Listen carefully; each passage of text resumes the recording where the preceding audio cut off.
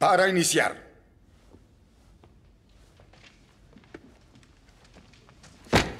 Déjenme decir que ni un poco de violencia doméstica es tolerable.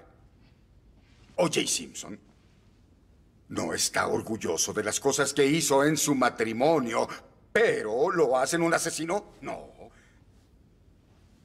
El señor Darden habla sobre 1985, pero está perdiendo un punto. Algo interesante pasó en 1985. Mark Furman respondió a un llamado en Rockingham. Él vio a una mujer blanca, casada con un poderoso hombre negro y no le gustó. Y no le gustó porque es un enraizado racista.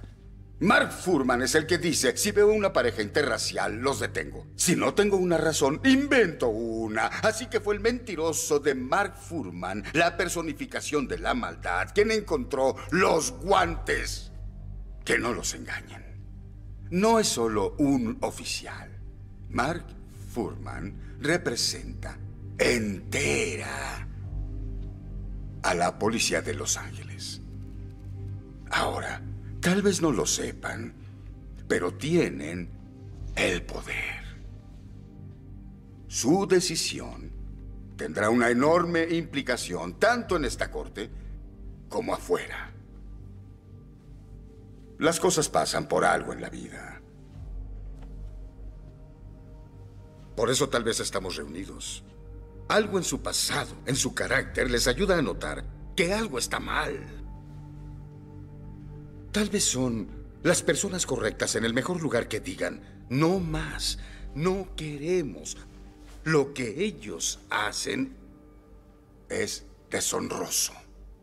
O.J. Simpson tiene derecho a ser exonerado. Ellos recomendaron el caso a un hombre que dice que quiere que todos los negros sean reunidos y muertos. Eso es genocidio. Ese hombre habla como Adolfo Hitler. Ahora, no pueden confiar en ese hombre, ni en estas personas. No es de extrañarse que en el momento clave de este juicio, cuando al señor Simpson se le pidió usar esos guantes, no entraron. No entraron porque no eran suyos. Si no detienen este montaje, ¿quién lo hará? Envíenles un mensaje. Demuéstrenles que su veredicto irá mucho más allá de estos muros. Damas y caballeros, recuerden mis palabras.